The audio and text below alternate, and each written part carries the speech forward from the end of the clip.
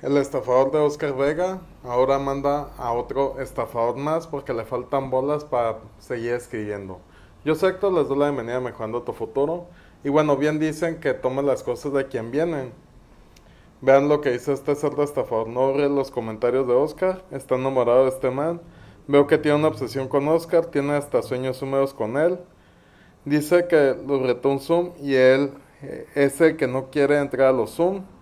Pero se enamoró de Oscar, solo está hace videos de él y le dicen que haga Zoom para frentear y no solo con nadie borra los comentarios. Bueno, más que borrar los comentarios, he hecho videos publicando los comentarios que tiene donde se ve que este cerdo estafador no quiere confrontar a las víctimas de sus estafas anteriores. Y bueno, porque digo que tomar las cosas de quien vienen? Pues si le damos clic a su nombre, Juan Pablo Jiménez Suárez, nos lleva a este canal de YouTube, que por cierto la de Delta Capital, que al parecer todo está vinculado con este estafador. Pero a fin de cuentas, ah, bueno, también claramente se ve que ha eliminado estos videos, este cerdo estafador. 43 videos son los que dicen 1, 2, 3, 4 por 1, 2, 3, 12 videos. ha borrado 31 videos, ¿por qué? Porque son estafas.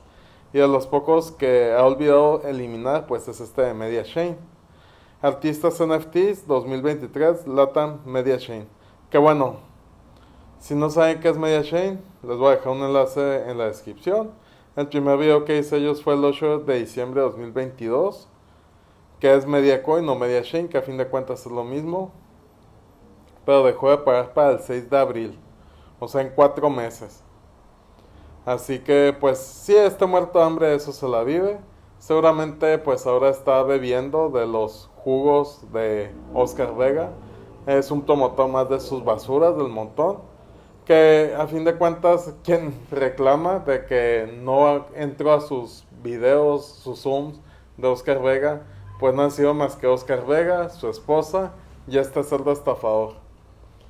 Así que sí, pues el cerdo estafador de Oscar Vega ha dejado de escribir en mis videos. Ya se acobardó, ya le faltaron bolas.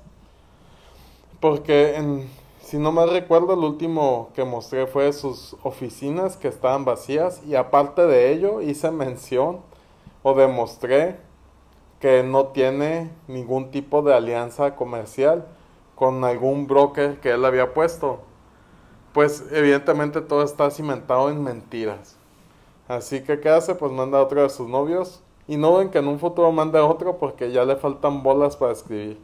Ya no tiene nada más que hacer. Y pues lo hace simplemente por el miedo.